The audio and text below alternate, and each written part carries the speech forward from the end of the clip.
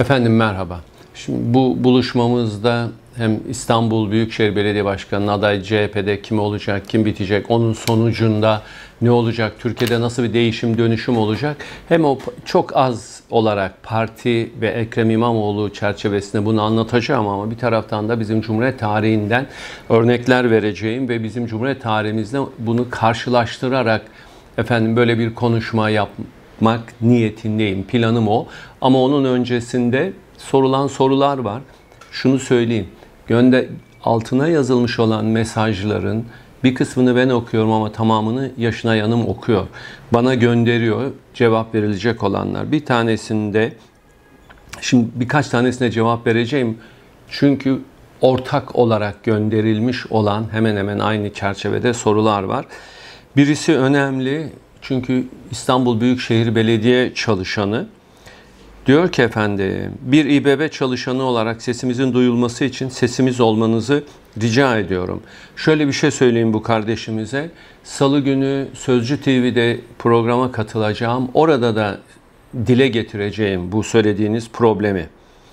Geçtiğimiz Ocak ayında %4, geçen Temmuz ayında da TÜİK'in açıkladığı komedi 19,77 zam oranlarıyla perişan edildik.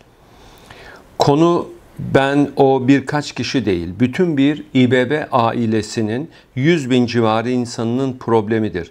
Sesimizi duyan, gören, ilgilenen kimse yoktur. Özet geçmeye çalıştım. Bilemediğimiz sebeplerden ötürü dillendirmezseniz de şimdiden teşekkür ederim. Dillendirmez olur muyum kardeşim? Umarım ki Büyükşehir Belediye Başkanı'nın danışmanları abuk subuk işlerle uğraşacaklarına, böyle tuhaf işlerle uğraşacaklarına umarım sizlerin sesinizi duyar dedim ya Sözcü TV'de de dile getireceğim. Şimdi şu birkaç tane soru var. Onlar hemen hemen ortak. Diyor ki İsmail Önsüz 312 sanıyorum ki bu çocuk her şeyini doğru olarak ifade etmiştir diye düşünüyorum. Çünkü soy ismi falan da var.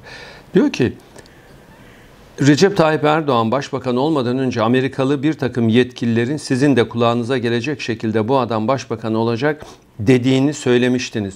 Bak güzel kardeşim benim cümlem böyle bir şey değil ya lütfen ne olur yaptığım konuşmayı rica ediyorum. Bir kere iki kere birkaç kere dinleyin. Çünkü bu olay o kadar çok anlatıldı ki Amerikalılar böyle bir şey söylemediler. Bak o günkü o evdeki toplantıda avukat Münci İnci söyledi, Tayyip Bey'in arkadaşı söyledi. Ne olur bak bu tür şeyler iyi niyetle yazdığınız, aklınızda kalanı söylediğini biliyorum ama bak bu tür yalan yanlış işleri söylediğiniz zaman unutmayın ki konuşmacı olarak başka bir takım ruh hastalarının, trollerin bizim hakkımızda suç duyurusunda bulunmasına sebep oluyorsunuz. Biz gidiyoruz boşu boşuna poliste, emniyette, savcıda zaman kaybediyoruz. Sen öyle demişsin ki. Hayır ben böyle bir şey demedim işte. Benim cümlem bu değil ki. Benim cümlem bu değil ki. Evet 1999 yılıdır ta 26 Ekim'dir Tayyip Bey'in ilk başbakan olacağını duyduğumda Ondan sonra 2002-3 Kasım seçiminin ertesi günü 4 Kasım'dır. Sonra milletvekili seçildiğinden birkaç gün sonradır. Doğru. Doğru. Efendim bu söyledikleri gerçekleşmedi mi yoksa ertelendi mi? Bu Ali Baba şeyi söylüyorsunuz. Efendim daha sonra aynı şey Ali Babacan için söylediklerini bak benim cümlem böyle bir şey değil ki Ali Babacan için. Sevgili kardeşim ne olur rica ediyorum ya Allah'ınız aşkına söylediklerimi ne olur hani can kulağıyla dinleyin. Siz kendinize göre ne olur yazmayın ya da birilerinden duyduğunuzu yazmayın. Ali Babacan için böyle bir şey değil. Ne olur geri dönün bakın bak bir daha söylüyorum. Demiştim ki ben bu seçimden sonraki iki seçim sonra Ali Babacan sistem değişecek olacak. Tayyip Bey'den sonra sistem değişecek. Sistem böyle kalmaz. Böyle kalmaz. Bu sistem çünkü apuk sapuk bir sistem. Bu sistem yanlış bir sistem. Bu sistem ülkenin aleyhine işte görüyorsunuz sonuçlarını. Bu sistem tartışılırken de aynı şeyleri söyledim. Yeni söylemiyorum ki ben bunları. Şimdi bunu geçtim. Efendim, şimdi asıl gelelim şuna. Hocam bu kanalda aylarca kim söylüyor? Çağatay 5946. Hocam bu kanalda aylarca seçimi Tayyip Erdoğan kaybetmiştir, siyasi sahneden silinmiştir dediniz. Yeri geldi İmamoğlu'nun adaylığı hayırlı olsun dediniz. Bak İmamoğlu'nun adaylığı hayırlı olsun falan ağzımdan çıkmadı. Yapmayın gözünüzü seveyim. Tam tersi. İmamoğlu aday olmasın diye konuşmalar yaptım ben. İşte buyurunuz. Bu hafta salı günkü Sözcü TV'de de söyledim. Bak onlar da parça parça koymuş. O parça parça konmaya ne deniyor Yaşınay? Onun bir ismi var yani. Küçük küçük koyuyorlar. Neyse. ben ben böyle bir şey söylemedim. Benim hep söylediğim şuydu. İmamoğlu ikinci kez İstanbul'a aday olsun. Cumhurbaşkanlığı adaylığını hiç söylemedim. Zaten baştan beri karşıydım o düşünceye. Yapmayın bunları ne olur. Diyorsun ki şimdi, şimdi bunları hiç dememiş gibi stratejinin uzun soluklu olduğunu anlatıyorsunuz. Bir öğrenciniz olarak söylüyorum, görüşleriniz net olduğu kadar aynı zamanda biraz da anlık ve günün sonunda da tutarsız değil mi? Bak Çağatay kardeşim, bir, bir daha söylüyorum Erdoğan'ın Cumhurbaşkanlığı meselesi için. Söyledim, siyaset bilimi hocası olarak bir kez daha ifade ediyorum ki, AKP konjonktürel bir partidir ve onun konjonktürü ortadan kalktı. Sesim için kusura bakmayın gördüğünüz gibi hala toparlanmış değilim. Onu doğuran konjonktür ortadan kalktı. Ama ısrarla ben hemen hemen her programda ne dedim? Dedim ki konjonktür evet bunu böyle söylüyor, bunu emrediyor, bunu görüyoruz. Ama muhalefet gereğini yaparsa bütün bunlar olacak. Hatta cümlelerim neydi benim? Ya dedim muhalefet gereğini yapmasa Erdoğan kendi kendine mi çekilip çıkıp gidecek? Aa ben bırakıp gideyim mi diyecek. Bunu defalarca kullanmışım bu cümleleri ben. Ama muhalefet gereğini yapmadıktan sonra ben ne yapabilirim ki? Benim gibi hocalar bütün bunu anlattılar. Ne yapabilirdik ki biz? Kaldı ki Erdoğan 2023 seçimine giremezdi üçüncü defa seçime giremezdi. Lütfen söyler misiniz bana? Muhalefet partileri bu konuda ne yaptılar? Rica edeyim ya bir parça düşününüz. Muhalefet partileri ne yaptılar? Onun öncesinde seçim tekrarlatıldığında itiraz ettiler mi? Onun öncesinde efendim mühürsüz oylar geçerli sayıldı. İtiraz ettiler mi? Lütfen söyler misiniz bana? Şimdi muhalefet partileri gereğini yapmadıktan yapılması gerekenleri yapmadıktan sonra Erol Mütercimler gibi hocaların söyledikleri nereye gidiyor? Boşa gidiyor. Oysa ki biz onlara anlatıyoruz ki kardeşim bak görün 2002 e, seçiminde aldığı oy neydi? %30 geçen hafta da anlattım. İşte 32 idi. Son sonra 49'lara çıktı. Sonra kaça düştü son seçim? Yaklaşık 35'e düştü. E görün bakın 14 puan oy kaybı var. 14 puan. E Altılı masa altılı masa dediler. Aylarca toplandılar. Toplandılar. Sonuçta ne oldu? Masayı bir ara bir dağıttı hanımefendi. Ötekileri kalktı saçma sapan konuşmalar yaptılar. Halk ne yapacağını şaşırdı. Bakın son 10 güne kadar, bakın son 10 güne kadar seçimin sonucu hala muhalefetin lehine görünüyordu. Ama öyle şeyler yaptı ki muhalefetin sorumluları, bu başkanları AKP'nin kararsız olan seçmeni sizden hiçbir şey olmaz dediler ve geri döndü. Yeniden Erdoğan'ın cephesine gittiler. Tamam daha önce yapılmış kamuoyu araştırması vardı. Anlatmıştım size Amerikalılar için yapılan %48-52 Erdoğan'ın lehine görünüyordu. Arkadaş ve bir buçuk ay önce yapılmıştı seçimden. E, bütün bunları tersine çevirecek işleri muhalefet yapamadıktan sonra bizim anlattıklarımız boşa gidiyor. Lütfen söyler misiniz bana? Erdoğan üçüncü defa seçilebilir, girebilir miydi seçime yahu? Niçin? Neden? Neden muhalefet? Ayrıca da şunu söyleyeyim. iyi güzel tamam. Her içinizi boşaltın. Haklısınız. Biz birbirimizle dertleşiyoruz çünkü. 22 bin sandıkta müşahit bulundurmadılar yahu. 22 bin. Denizli'de, yani bırak Doğu Anadolu, Güneydoğu Anadolu'yu, Denizli'de müşahit bulundurmadılar. Yalvar yakar oldu Denizli'deki insanlar. iş işten geçti. İş işten geçti. Saat 17'de başvurmaları gerekirken bile bile 17.5, 17.10 neyse ne zıkkımsa gidip o saatte başvuruyorlar. Bile bile yaptılar. Bile bile yaptılar. Turan Çömez'in konuşmasını hatırlayın. Halk TV canlı yayın ne dedi? Balıkesir'de dedi sandıkların %70'ine hakim olduk. Arkadaş Balıkesir İstanbul'a 45 dakika. Bunu daha önce de söyledim. Efendim Erkan Serttepe Erol Bey şimdi siz yavaş yavaş Ekrem İmamoğlu lehine kazanacak, kazanır yorumları yapmaya başladınız ufak ufak. Ya Allah'ın aşkına yapma ya. Lütfen rica ederim yapma. Üniversite adına yapılan araştırmayı söyledim size CHP İstanbul'u kaybediyor diye. Niçin? Eğer bunu bak bunu amaçlı olarak yazmamışsan Erkan Bey kardeş, Serkan dedim galiba yok. Erkan Serttepe. Erkan Bey kardeşim. Bunu amaçlı olarak yazmamışsan. Yani bunu kafayı çekip sarhoş olup kafan dolandıktan sonra yazmamışsan bir şey söyleyeyim rica edeceğim. Ne olur konuşmalarıma geri dönüp bakar mısın? Yahu ben size bana Ekrem İmamoğlu'nun baş danışmanı Murat Hongun'un gönderdiği mesajı okudum geçen. Geçen hafta okudum değil mi Yaşınay? Mesajı okudum.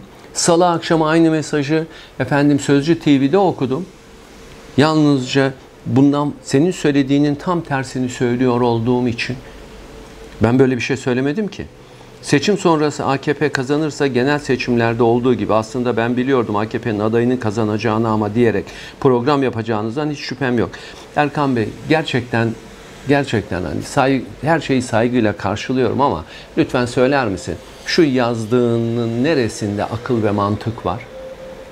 Benim söylemediğim şeyleri söylüyorsun ya. Benim söylemediklerimi söylüyorsun.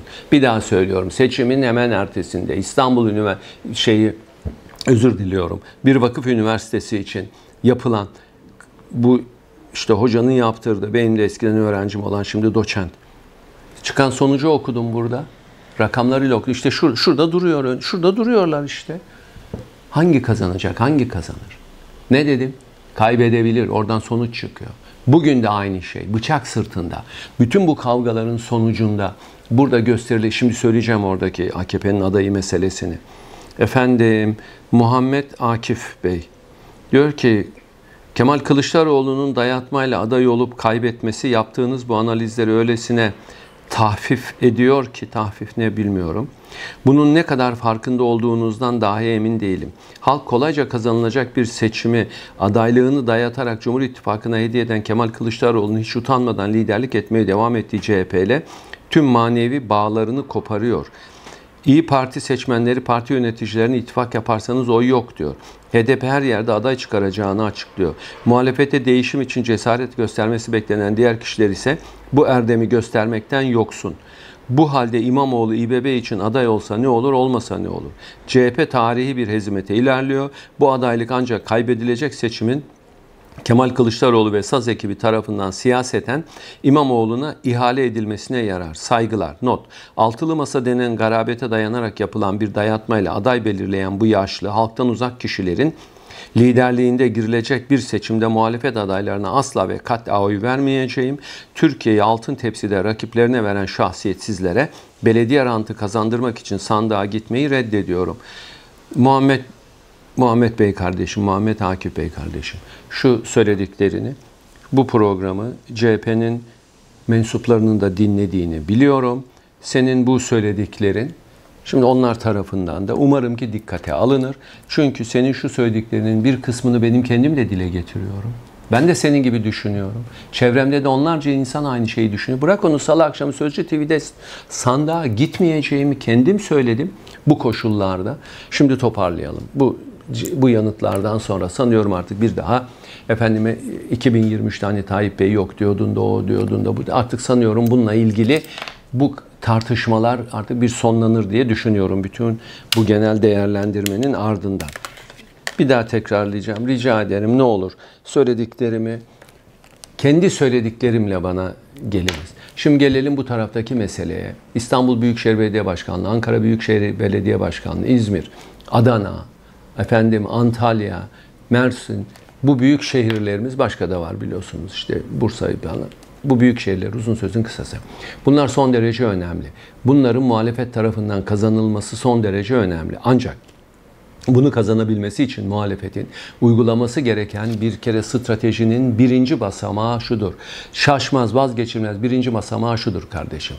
O kentlerin halkının, yaşayanının kabul edeceği adaylarla seçime gireceksiniz. Şimdi bu birinci madde. Şimdi ikinci madde. Bütün kavga neyin üzerine koptu? Bütün kavga İstanbul Büyükşehir Belediye Başkanlığı üzerine koptu. Neden? Tayyip Bey ısrarla ne diyor? İstanbul'u kaybeden, Türkiye'yi kaybeder, İstanbul'u kazanan, Türkiye'yi kazanır. İstanbul'un rantı çok büyük. Çünkü İstanbul'un rantını vakıflar, dernekler bir sürü yerlere paylaştırıyorlar. Peki, şimdi buranın muhalefetin elinde kalmasının ne yararı var, efendim AKP'ye geçmesinin ne yararı ne zararı var onu hiç tartışmıyorum. Ama buradaki geldi ana düğüm şöyle bir yere oturdu. Bir, Ekrem İmamoğlu hep siyasetin içinde kaldı. Her zaman söylediğim keşke yalnızca belediye başkanlığı hizmetleriyle kendisini anlatsaydı. Çünkü çok önemli hizmetler yaptı. Gerçekten İstanbul'a çok önemli hizmetler yaptı. Ama hiçbirisini kendi oturup doğru dürüst halka anlatmadı ki. O yalnızca siyasetle uğraştı. Onun için de işte çok şey kaybediyor. Şimdi karşısına İstanbul'dan efendim Erdoğan kimi aday çıkaracak? Şimdi Ekrem İmamoğlu'nun en büyük adayı, en büyük rakibi kim? Kendisinde ifade, ismini söylemedi ama kendisini de söylediği. Recep Tayyip Erdoğan. Erdoğan hem AKP Genel Başkanı hem Cumhurbaşkanı yani partili bir Cumhurbaşkanı. Şimdi İstanbul'a kendisini belediye başkan adayı göstermeyeceğine göre İstanbul'a gösteri, aday göstereceği kişi kim? Bir kere bu aday göstereceği kişi Karadenizli olacak. Bir kere bunun hiç tartışması bile yok. Bir Karadenizli olacak. Görüyorum Selçuk Bayraktar diyorlar. Şunu altına bir sürü isimler yazıyorlar. Hayır olmaz. Selçuk Bayraktar şimdi İstanbul Belediye Başkanı adaylığını göstermez. Peki bu durumda İstanbul Belediye Başkanı adayı AKP'nin kim olacak derseniz muhtemeldir ki bana göre %90 bugünkü İstanbul İl Başkanı olacak. AKP'nin bugünkü İstanbul İl Başkanı olacak. Çünkü İstanbul'da MHP ya da öteki partiler yani Cumhur İttifakı'nı belirleyen partiler içinde olan partiler aday göstermiyor. Orada arkadaşımızın birisi çok doğru söylüyor. Şimdi HDP efendim adayını göstereceğim diyor. İyi Parti ben kendi adayımı göstereceğim diyor. Bakın şöyle bir şey söyleyeyim. İstanbul'da muhalefet partileri tek başlarına aday göstererek seçime girerlerse tamamen kaybedecekler tamamen kaybedecekler. Ve İstanbul o zaman AKP'ye geçer. Geçecektir de zaten. Ben size bir şey söyleyeyim. Geçecektir de. Dolayısıyla şimdi İstanbul'da bu muhalefet partilerinin oturup kendilerinin ortak aday belirlemek zorundadırlar. Buradaki en güçlü aday kim? Şu andaki en güçlü aday Ekrem İmamoğlu. En güçlü aday o. Ha efendim şeyin İyi Parti'nin İstanbul İl Başkanı işte e, Burak Bey, Buğra Bey'i söylüyorlar. İyi Parti onu gösterecek diyor. Kimi gösterirse göstersin. Bakın kazanma şansı yok. Tekrar söylüyorum. Tek tek girerlerse CHP, MHP hepsi ayrı ayrı girerse kazanma şansları yok.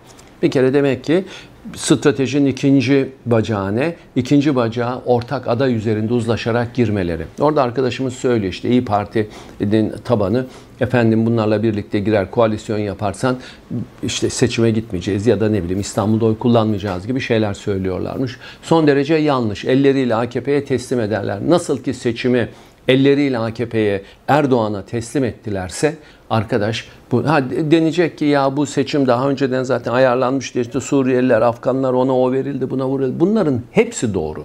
Bak bunların hepsi doğru. O vatandaş yapıldı, oylar kullandırtıldı. Bunların hiçbirisine itiraz yok. Bak bunlar bilinmiyor muydu? Bunların hepsi biliniyordu. Bunların hepsi biliniyordu. CHP'nin içindeki tartışmalara şu anda girmeyeceğim çünkü öz, şimdi bu hafta içinde hafta sonu Özgür Özel'le bir telefon konuşması yapmak istiyorum. Kendisiyle konuştuktan sonra sizle o konuşmayı size aktaracağım. Çünkü Ekrem İmamoğlu Özgür Özel'i desteklediğini söylüyor. Şu anda CHP'nin içi kendisi de paramparça. Bir kere 10 Aralıkçılar var ki işte 10 Aralıkçıların en güçlü adayı Oğuz Kağan Salıcı.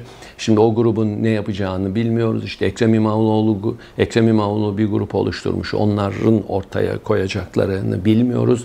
İşte bunların karşısında çıkacak olan bir de bakalım buradaki büyük Alevi kitlenin bir temsilcisi, bir adayı olacak hiç kuşkusuz ki. E bir de bir dördüncü bir grup ortaya çıkıyor içeride. Efendim onların bir adayları olacak onu bilmiyoruz. Ama burada CHP'de kim karar veriyor diyorsanız delegeler karar veriyor. Ana mesele şu kardeşim.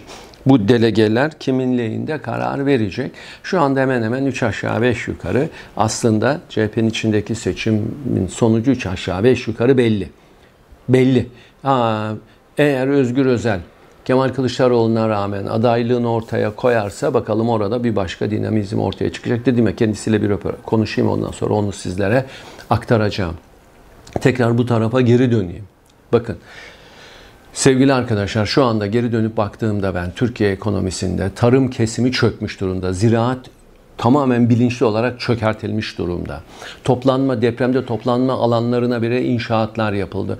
Ülkeyi inşaat ekonomisine, hep söyledim bunu onlarca kez söyledim, bir kez daha söylüyorum. Beton ekonomisine götürdü, çöke, çöktürdüler. Onun ötesinde, bakın bugün orman alanları, işte müthiş bir direniş var işte köylülerimizin. Müthiş bir direnişleri var.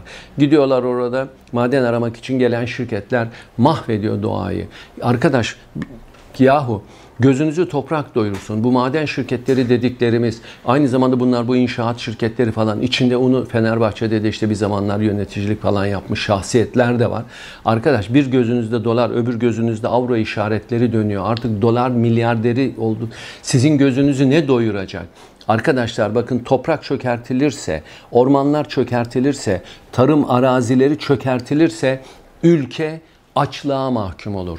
1936, 1937, 1935 Atatürk'ün meclis açış konuşmalarında ısrarla söyler ki topraksız köylü topraklandırılacak, işte orman alanları reform edilecek yani yenilenecek, orman köylüsünün hayatı düzenlenecek. Efendim bizim en temel meselemiz ziraattir.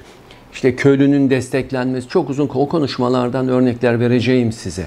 Hani çok eleştiriliyor ya önüne gelen önüne gelen hani apık sıpık toplu iğnenin ucu kadar bile bilgisi olmayan adamlar işte Atatürk'ü eleştirmeye kalkıyor onu yapıyor. Son, bunlar moda. Tabii bu liberallerle başlatıldı. Bu saçma sapan faşist liberaller bunlar. Yani gerçek liberallere bir şey demiyor. Faşist liberallerle. Hani diyorlar diye askeri vesayet. Askeri vesayet kalksın. Ne oldu? Parti vesayeti geldi. Gözünüz aydın olsun. Bak ülkeyi ne hale getirttiniz. Tabii o iş adamlarına da söylüyorum işte AKP'yi en başta Erdoğan'ı destekleyen şey. O 22 dakikam olmuş peki kapatıyoruz. Dolayısıyla arkadaşlar bakın eğer ziraat kesimi, tarım kesimini çökertirseniz bu ülkeyi açlığa mahkum edersiniz. O maden arama peşine düşenler bakın bütün zeytinlikleri mahvettiler. Bütün zeytinlikleri mahvettiler. Arkadaş ülkenin geleceği kendi çocuklarınızı karanlığa, torunlarınızı karanlığa mahkum ediyorsunuz. Benim değerli takipçilerim, eleştiriler yazacaksanız lütfen ne olur rica ediyorum. Bak bu konularda yazın bunları taşıyayım ben ekranlara. Bunları anlatayım ben.